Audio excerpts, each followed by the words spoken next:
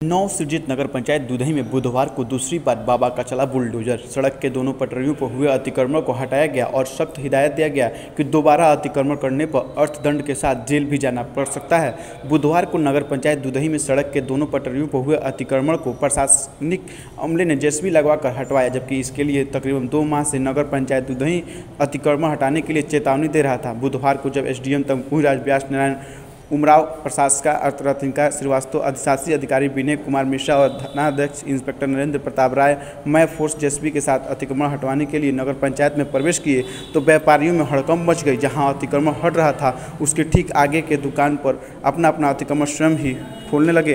पक्का निर्माण के सेट डालकर अतिक्रमण करने वाले दुकानदारों के आगे से सख्ती के साथ प्रशासन ने अतिक्रमण को निस्तबुद्ध कर दिया और हिदायत दिया कि दोबारा अतिक्रमण किया गया तो बीस हज़ार रुपये के अर्थदंड के साथ अतिक्रमण हटाया जाएगा।